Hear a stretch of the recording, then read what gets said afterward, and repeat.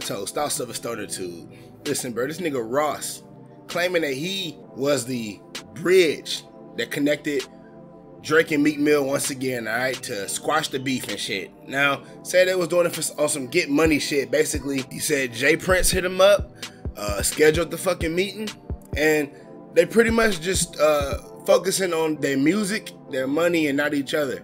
Now, what the fuck do I think about all of this shit? I mean, come on. Honestly, do you give a fuck? Do you give a fuck? I mean, that shit is really going on two years old. I mean, hey, you probably do give a fuck because people really reference that beef a lot. Like that's that's kind of like a daily topic in hip hop. I kind of hear that shit, you know, a lot actually. So you probably do give a fuck. But do you believe that that that that the beef is really over? I mean, like think about it. Meek Mill put the fucking dagger in the legacy that could have been Drake. All right.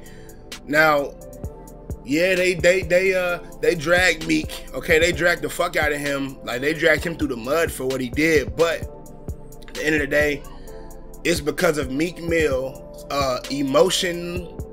It's because of Meek Mill's emotional Twitter rant that now everyone's gonna look at Drake and question: Did this nigga write this shit, or did this nigga get one of his um, writers do it for 725 you know the minimum wage or some shit?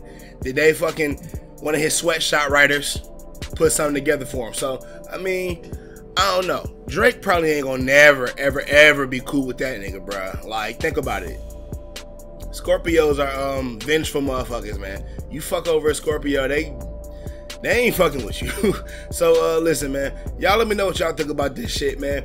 Uh, for right now, the beef is supposedly, I did the air quotations when I said that shit. Supposedly squash, man. It's over for now. All right, y'all let me know what y'all think about this shit. Hey, hey, hold on, hold on, hold on. The last time this shit was supposedly over, Drake said, "Listen, man, I ain't gonna perform back to back no more." Then you know, Meek Mill said some shit.